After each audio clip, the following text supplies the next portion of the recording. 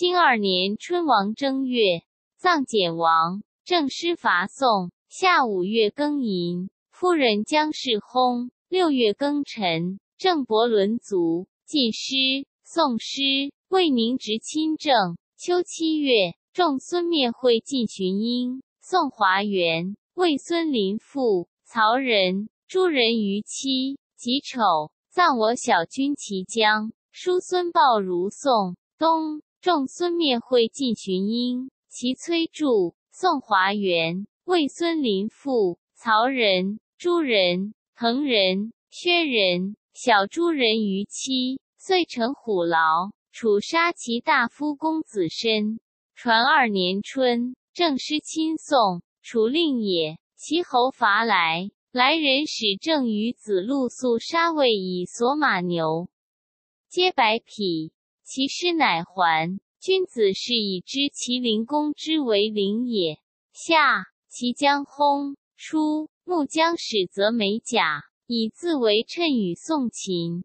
季文子取以葬。君子曰：“非礼也。礼无所逆，父养孤者也。亏孤以成父，逆莫大焉。”诗曰：“其为哲人，告之化言，顺德之行。季孙于是谓不者矣。且将士，君之比也。”诗曰：“未酒为礼，征必足比，以洽百里。将服恐邪？”其侯使诸将宗复来送葬。召来子，来子不会，故燕若乘东阳以逼之。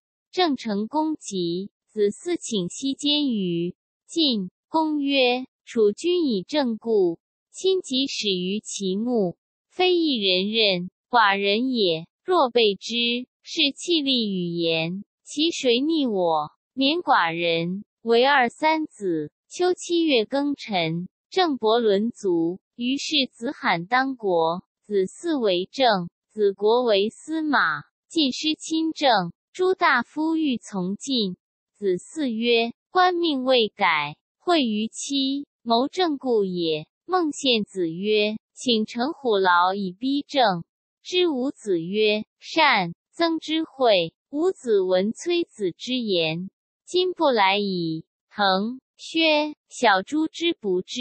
皆其故也。寡君之忧不为政，应将复于寡君，而请于齐。得请而告，吾子之功也。若不得请，是将在齐。君子之请，诸侯之福也。岂为寡君赖之？